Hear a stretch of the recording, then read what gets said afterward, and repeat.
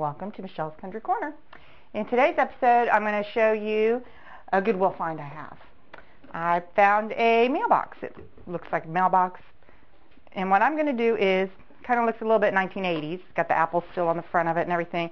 But what I decided was I'm going to use a little bit of my imagination. I'm going to paint it, put some more updated things on it, make it look a little bit more like me, and show you how you can just take, with some imagination, go to the Goodwill, thrift store, garage sale, wherever, find something you may see it. It may not look like what you would like, but with a little bit of imagination and potential, you can make it something of your own. So, uh, have to watch and see how it turns out. All right, and here we have the finished product.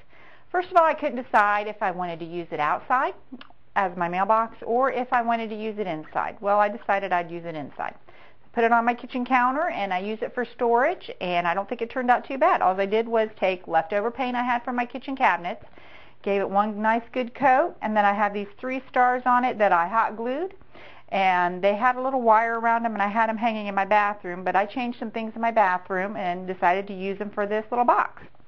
So I don't think it turned out too bad and actually for $3 at the Goodwill and stuff I already had in my house I don't think it turned out too bad. What you can do is always go to the Goodwill, look at, or a thrift store, just look at the potential of something. Look and see what you have around the house. It may not cost anything, and look how you can change it. Thanks for watching, and have a great day.